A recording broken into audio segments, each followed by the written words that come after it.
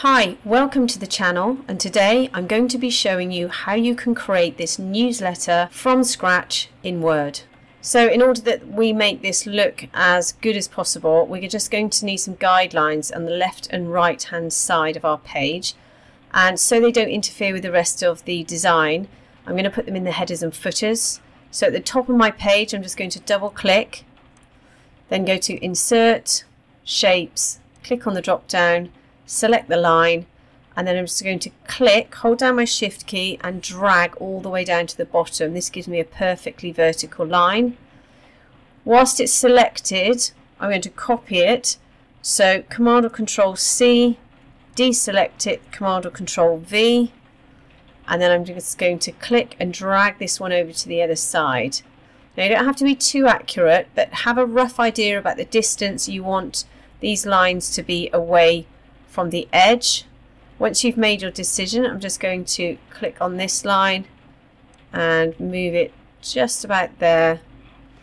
And then select the one line, hold down your command or control key and select the other line. You can see then I've both selected. Go to shape format, go to group, click on the drop down and select group. They're now one element. Then go to align and select align to center and now those two lines are perfectly lined up, central to your page with an equidistance to the edge of the page. Then double click anywhere in the center and you'll go back to your original page.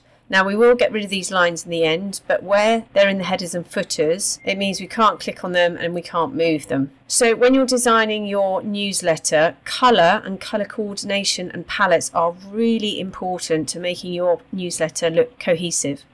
So I'm going to put all of my text in first, then I'm going to select my images, then I'm going to put my graphics in and colour coordinate them. So I'm going to go to Insert, Go to text box, click on the drop down, select draw text box, click and draw out a text box.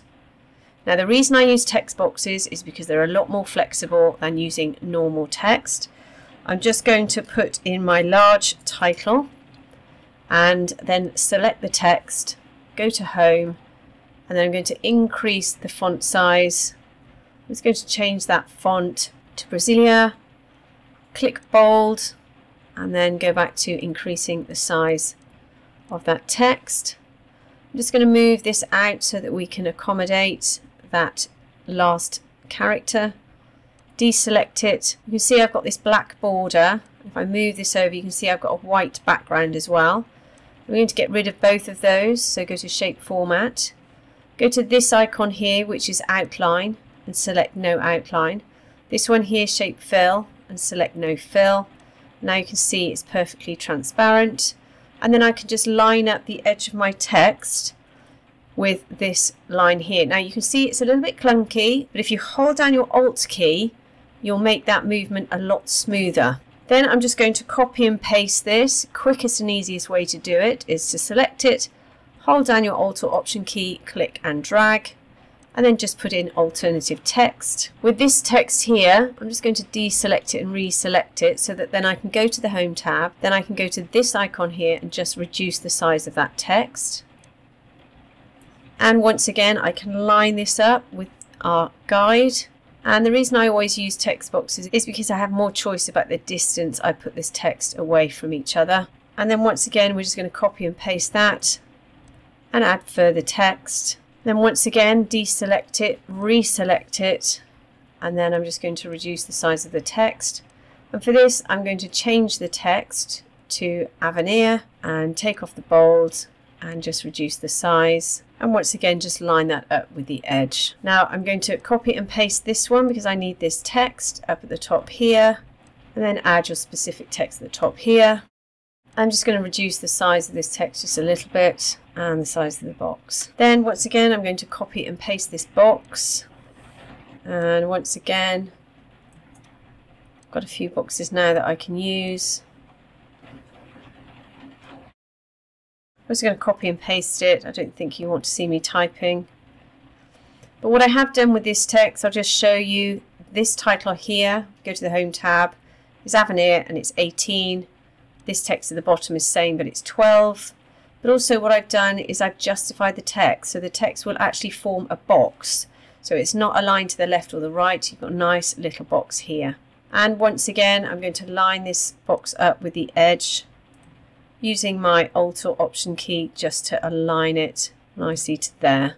And again, this one at the bottom, I'm going to line over here and just change that text. Just select the text and reduce the size of it. And actually, I'm going to turn this to sentence case. Just increase the size to 10. and with this box here, I'm just going to copy and paste it and reduce the size of it. Pop that down there. And I'm going to select this box as well by holding down the Command and Control key. Go to Shape Format, go to Align and select Align to Top. And that will mean they're both perfectly aligned. Then you can adjust the text. Just copied and pasted in some text here. And then I'm just going to select this text, go to the Home tab and I'm going to justify it and then I'm going to move this box over to the right, just line that up with the edge there and then once again select them both, go to shape format, align, align to top. And then with this one here, I'm just going to create some more text. Again, I'm just pasting it in and you can see for this one, if I go to the home tab, it's the same text, it's 11 and it's bold. So our text is now in. So all I'm going to do now is I'm going to search for our images. So if you go to insert pictures, click on the drop down, you're obviously going to select your own pictures, but if you want some stock images, just go to the stock images file. And in here, I'm just going to type business portraits. And then you can simply scroll through your images to select the ones you want. You can select multiples and then just click insert. So I'm inserting three images. Now when you insert them, your whole page is going to be messed up, but don't panic. Just select the first image Go to wrap text, select in front of text. That will enable you to move it. Then go to crop, click on the drop down and because we're going to crop this to a circle we need to first crop it to a square. This will also enable us to crop out everything else that we don't need and just highlight the individual's face or whatever object you want to highlight. I'm going to make this smaller but in order to do so if I click on the corner I need to hold down my shift key so I don't spoil that one-to-one -one ratio, that square. Then I'm going to move my image into the center of that square, press enter, go back to crop, crop to shape, and then just click on the circle. Then before we finish, I'm just going to go up to the height and width, make sure that this is checked to maintain that ratio. I'm going to make mine three centimeters and press enter. And there you have your first circle. Then the same with this one. Click on the drop down in front of text, crop, aspect ratio 1 to 1. Then click, hold the shift key, move the image, press enter, crop, crop to shape, circle, and then go up to the height, press 3 and press enter. So now I'm just going to go over and select business, press enter. Once again, you can scroll down and select from any image you like. I'm going to select this one, click insert. And then with this one, I'm just going to go to wrap text and select behind text. And then I'm just going to stretch it out across the entire picture. You can see we've got too much image here, so we're going to go back up to crop. And then we're just going to use these little black markers, just click and drag that up so that we can just have a small slice of that image and then press enter. Then we can move this wherever we like. So I'm going to move it up to around about here. So I'm going to go back to this text here and I'm just going to reduce that down probably to about 68 and press enter. Just it's a little bit too close to his hairline. And then just to put a gradient over the top of this image to make it look a little bit more professional but also to allow this text to stand out. I'm just going to go to Insert, Shapes, click on the square, click and drag out a rectangle that will go over the top of my image. Then go to Shape Format and over here go to Format Pane and then in the bucket icon click on Fill, go to Gradient Fill and I've already rehearsed this so it has the gradient in there before me but I'll just explain. Go to Linear, Make sure you're on the linear one that goes left to right. So let me just move this in. If you select this one here, and then for this marker here, you can see it's selected. It has this orange outline. Click on the drop down and select this colour here. And this one, you can select the white and then go to transparency down the bottom here. And we're just going to move this along until we're happy. At the moment it's on top of my text. I want to move it behind my text but on top of the image. So go to send backwards, click on the drop down, select send to back and it will send it to the back but on top of this image here.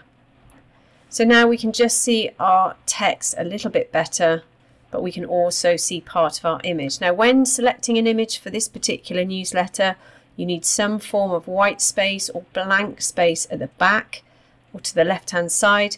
If you don't, you can use this technique. You can move this grey marker here to move it over so that you can see your text a bit better. Completely up to you how you use this. You can also put this as a white, you can also change this to a white colour and have this exactly the same technique. It's completely up to you. Next thing to do is insert another shape. So click on the drop down select square or rectangle, click and drag out a rectangle to go, go across your text. I'm just going to move this out of the way, around about here. And then I'm just going to go to the, I've just noticed on this box at the top here, we've got to take out the line around the outside. So go to line and select no line and deselect. Then we haven't got a line around the outside of that rectangle we inserted. And then here, this has also got a border line. So select it, go to shape format, click on the drop down and select no outline. And then shape fill, if we click on the drop down, you can select from any color, but you really need to select a color that's already available in your photographs or your images so you can make this more cohesive. So I've selected some colors here that you can do by using more fill colors. So here you've got this colour wheel. So there's a, a darken and brighten slider here. You move this little cursor around your colour wheel to find the colour of your choice. Whatever you've selected will appear here. Now for those of you who are fortunate to have this eyedropper tool, all you need to do is click on it and then hover over any of the colours within your images. Click and the colour will appear here. So let's click on a green and then click OK. Deselect I'm just going to copy and paste this, click and drag out another one, deselect, reselect the bottom one, reduce the size, and then we're going to make sure this is lined up with the edge of this text here. Again, we can move it using our Alt Option key so that it's not clunky. Now we go to Insert, Shapes, click on the drop down and go to the rounded cornered rectangle, click and drag. We're going to go up and take out the outline and for this one we're going to make it white going to move it over to the side here. And we're also going to go to format shape. We're going to go to this icon here, go to shadow, click on the drop down and select this shadow here. And then on the blur, we're going to make that blur 26 and press enter. And then we're going to click on all of these images, holding down the command or control key, go to picture format, and then click on bring forwards, bring to front. Then we're going to select this white rectangle hold down your Alt or Option key, click and drag, deselect, reselect one of them, click and drag again. Now to align them, you need to make sure that the right hand one here is lined up with our guides at the edge. So let's put it about there. And then this one again lined up with that guide. And then this one in the middle, just bring it down. Select them all. Go to Format Shape, Align, Firstly, we're going to distribute them horizontally so they're equally spaced. Align, align to top. So now they're all perfectly lined up.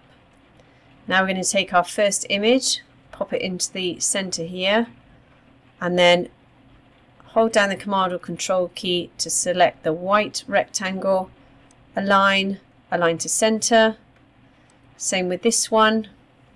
Let's just bring these forward again bring forward, bring to front, deselect, reselect this one.